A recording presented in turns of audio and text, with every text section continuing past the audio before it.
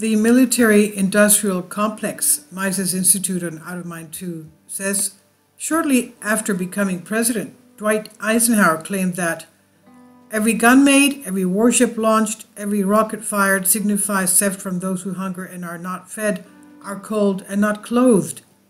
Eight years later, Eisenhower warned Americans to guard against the acquisition of unwarranted influence by the military industrial complex, which he defined as the conjunction of an immense military establishment and a large arms industry. In the 1930s, Smedley Butler explained how the military subsidized private companies, but it was not until the Second World War Eisenhower noted that America developed a, quote, permanent armaments industry of vast proportions, end quote. So, how did this come about? After Germany invaded Poland, President Franklin Roosevelt convinced Congress to approve its cash and carry program to sell arms to France and Britain. The following year, he replaced cash and carry with Lend Lease, which loaned weapons to cash strapped allies.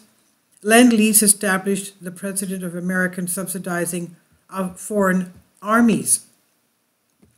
Upon joining the war in 1941, the U.S. government urged patriots to enlist in the battle for production. Propaganda reminded Americans that production wins wars, and heroic images of factory workers likened weapons manufacturing to military service.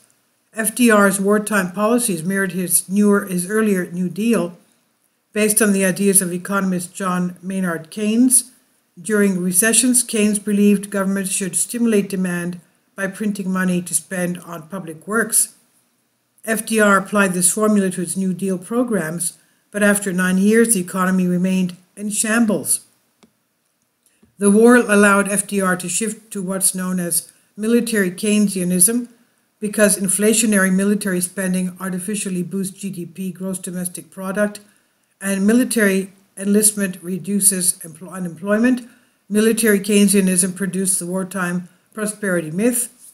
Many people believe the war ended by ended the Great Depression, despite the countries facing shortages of basic goods such as sugar and butter.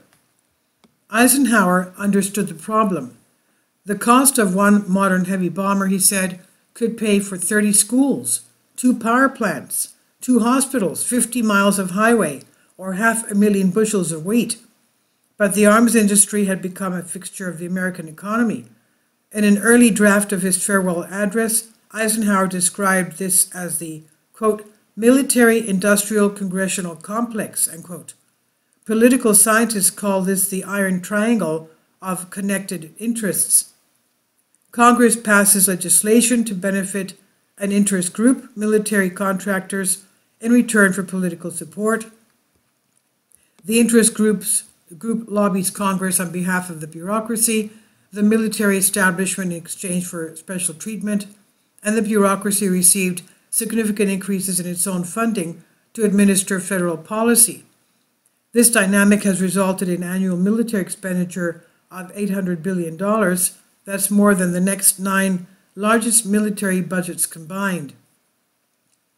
The military industrial complex made America the de facto arms dealer for the world, and the U.S. military presence grew by, to having 700 million, uh, 700 military bases across 80 countries.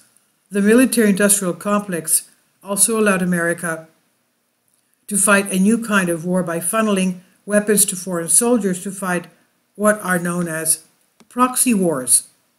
And this is by uh, Truth Comes to Light on Out of Mind 2 by the Mises Media Mises Institute.